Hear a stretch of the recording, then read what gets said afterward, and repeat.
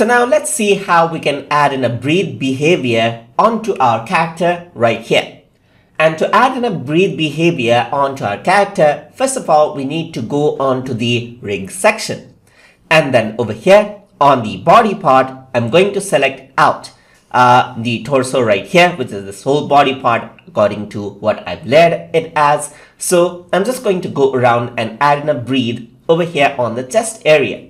So I'm going to go around and then add in a handle right over here. I'm selecting the handle tool and then I'm going to click right here. Once I do that, you can see right here that in the miscellaneous section, there's breathe right here. So I can just tag that in right there. So once you do that, what you have to do now is add a breathe behavior to make the character seem as if it is breathing out. To do that, I'm going to click on body and then I'm going to scroll down and over here in the behaviors portion, I can simply click plus and over here I can choose breathe. So the breathe behavior has been added in.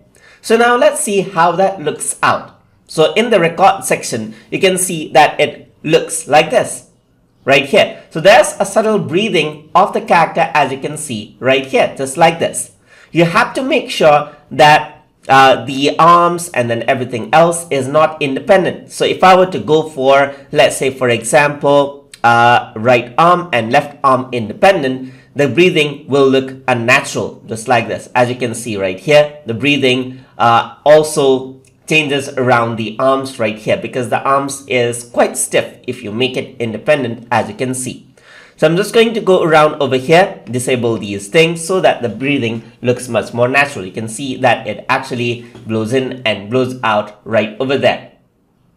So now what you can do is over here on the right side, once you select out the layer and go over here on the right side, you can see that breathe body is there. The breathe behavior has been added in. So I can change some parameters right here. So let's say there's 15 breathing per minute. So if I were to change it to something like 40, the breathing becomes faster as you can see. I can also increase out the breathe scale. So right now it's 150 right there. So I can go around and type in somewhere around like 400 as well. So that really distorts stuff. So uh, it is not recommended to actually do that. But I just want to show you like what happens. So I'm just going to go around into 120% right here. Not much, just a subtle breathing as you can see. I can also go for minimum minimal scale. So I can actually say something like 90% so it actually pulls in a bit as well. So let's go 80% right here pulls in and pulls out as you can see right here.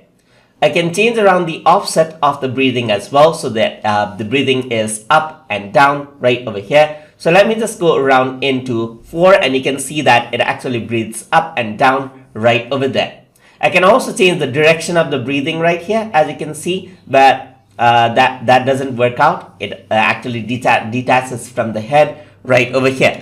So I'm just going to go for 0 in my case and you can see that the character keeps on breathing and we do not need to add in any keyframes or whatsoever. And this makes it much more natural uh, as a character. So that is how you can add in the breathe behavior inside of Adobe Character Animator. So hope you guys learned something as always. And as always, please like, comment, share, and subscribe.